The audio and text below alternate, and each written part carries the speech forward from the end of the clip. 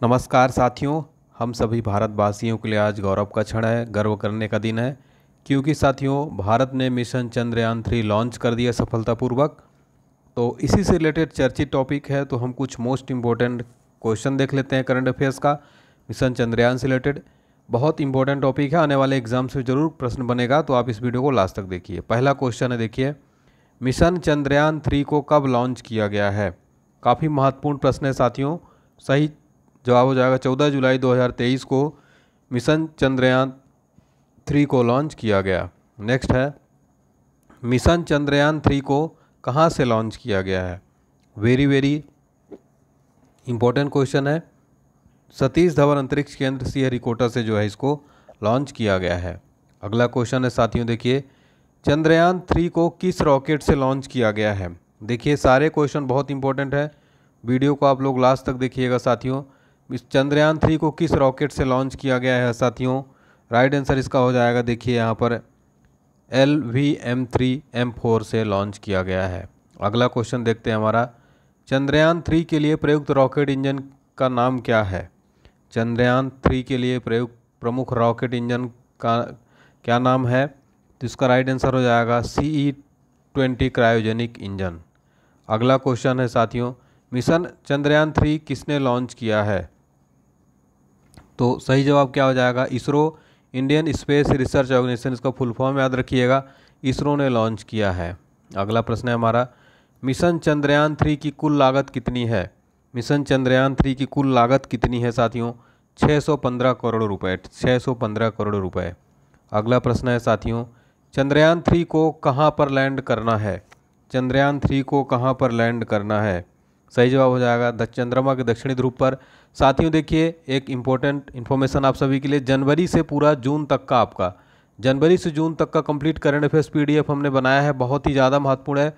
Description box में link है, उसकी कीमत मात्र उनचास रुपये है। सभी बच्चे ज़रूर परचेज करें। अगर आपको कुछ दिक्कत आती है साथियों तो आप हमारे इस व्हाट्सएप नंबर पर मैसेज कर सकते हैं, सत्तर सतसठ छप्पन, सत्तर, चौबीस। इस नंबर पर आप लोग मुझसे संपर्क कर सकते हैं, ठीक है? Seven zero six seven five six seven zero two four. तो इस पर संपर्क करिए, बहुत इंपॉर्टेंट पीडीएफ सभी एग्ज़ाम के लिए। अगला क्वेश्चन है, चंद्रयान थ्री इसरो का क्या क्या नहीं भेजा गया? चंद्रयान थ्री में इसरो क्या क्या जो है तो आठ का आपका आंसर हो जाएगा ऑप्शन डी ऑर्बिटर ठीक है ऑर्बिटर अगला क्वेश्चन है, चंद्रयान थ्री के लैडर में कितने थ्राटल सक्षम इंजन हैं? वेरी इंपॉर्टेंट क्वेश्चन है ये, चार ऑप्शन भी राइट आंसर हो जाएगा। अगला क्वेश्चन है मिशन चंद्रयान थ्री की थीम क्या है? वेरी इंपॉर्टेंट क्वेश्चन है, ये थीम पूछा जा सकता है। इसकी थीम है साथियों science of the moon science of the moon next है साथियों, मिशन चंद्रयान थ्री के लैडर का क्या नाम है? वेरी इंपॉर्टेंट है, चंद्रयान थ्री के लैडर का नाम है विक्रम। क्या नाम है विक्रम?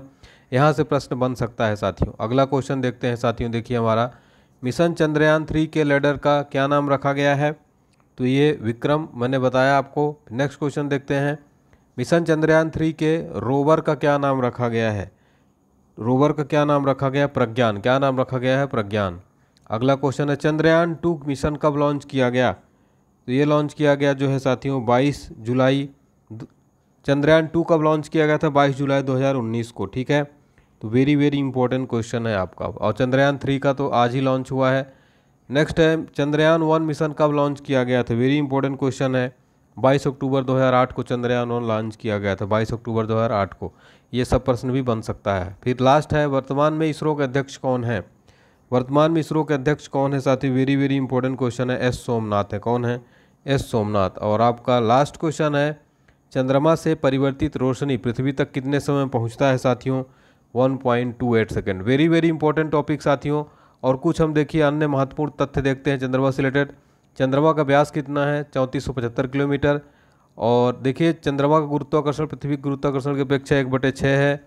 चंद्रमा पृथ्वी से कितनी दूरी पर है? तीन लाख चौरासी हज़ार किलोमीटर।